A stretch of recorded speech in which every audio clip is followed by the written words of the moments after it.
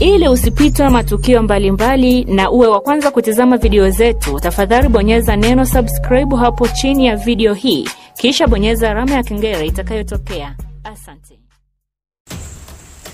baada ya sekeseke wimbi zito mikasa mingi iliyotokea katika jumba la madale e bwana diamond platinum ameonekana live kumpokea mpenzi wake zari the boss lady akitua mjini tanzania.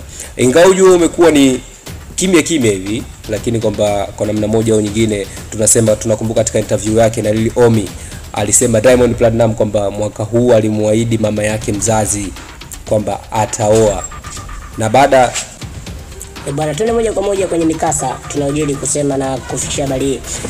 Sasa naomba niwaulize wapenzi subscriber wangu kwamba je, unaamini kwamba Zari kitendo cha kuja Madare kimya kimya ndio mwanamke aliyechaguliwa na Diamond Platinum katika kuolewa, na je, ndio mwanamke aliyekuwa first priority kwake na kumwahidi mama yake kwamba ataoa very soon, kwa sababu ametangaza iko kitu ndoa, alafu kwamba mwisho wa siku tunajua kwamba ameachana naye.